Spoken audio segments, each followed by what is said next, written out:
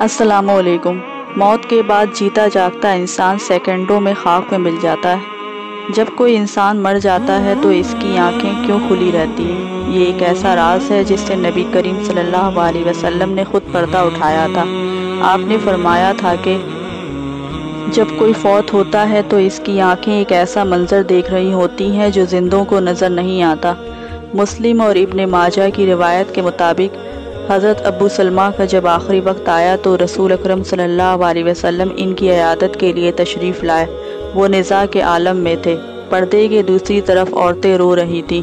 آپ صلی اللہ علیہ وسلم نے فرمایا، میت کی جان نکل رہی ہوتی ہے تو اس کی نگاہیں پرواز کرنے والی روح کا پیچھا کرتی ہیں۔ تم دیکھتے نہیں کہ آدمی جب مر جاتا ہے تو اس کی آنکھیں کھلی رہ جاتی ہیں۔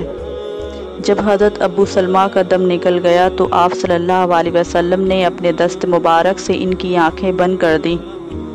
آپ صلی اللہ علیہ وسلم نے عورتوں کو تلقین کی کہ میت پر بین کرتے ہوئے اپنے لیے بد دعا نہیں بلکہ بھلائی کی دعا ہی مانگے، کیونکہ فرشتے میت اور اس کے اہل خانہ کی دعا یا بد دعا پر آمین کہتے ہیں۔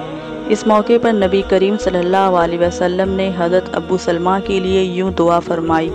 اے اللہ، ابو سلمہ کی مفرت کر دے، ہدایت یافتوں اہل جنت میں ان کا مقام بلند کر دے پسماندگان میں ان کا قائم مقام ہو جا اے رب العالمین، ہمارے اور ان کی مفرت کر دے قبر میں ان کے لیے خوشادگی کر دے اور اسے منور کر دے